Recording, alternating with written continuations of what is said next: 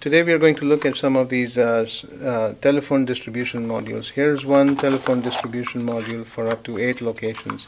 And this one comes without a bracket.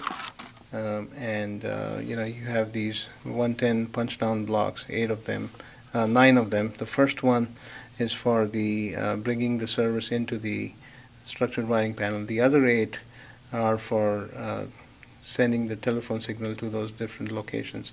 Then each block accepts a Cat5e cable, and uh, you can use the included punch down tool to, to punch down the Cat5e cable, or you can use one of our economy tools.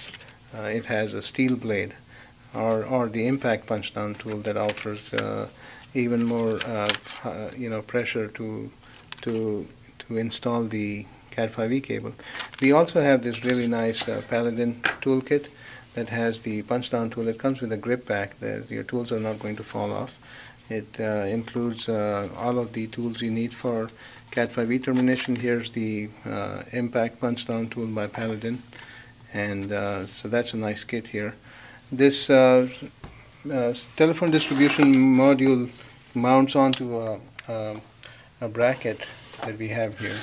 And this is how you uh, install the, um, you just have to push it down, the PCB down onto the module. And, and, and Lee is going to demonstrate that here. And so if you have multiple modules, you can combine them onto a bracket like this. Or you can purchase the, uh, the module that includes the, um, the bracket. So, so you can take one of these and mount it directly onto the structured wiring panel. And that's, you can go sideways or you can go vertical, either way. Uh, and you can also run the cables underneath the panel. That, you know, allows you to, to run the, and dress the cables the way you want them. So that's our telephone distribution modules. Thank you.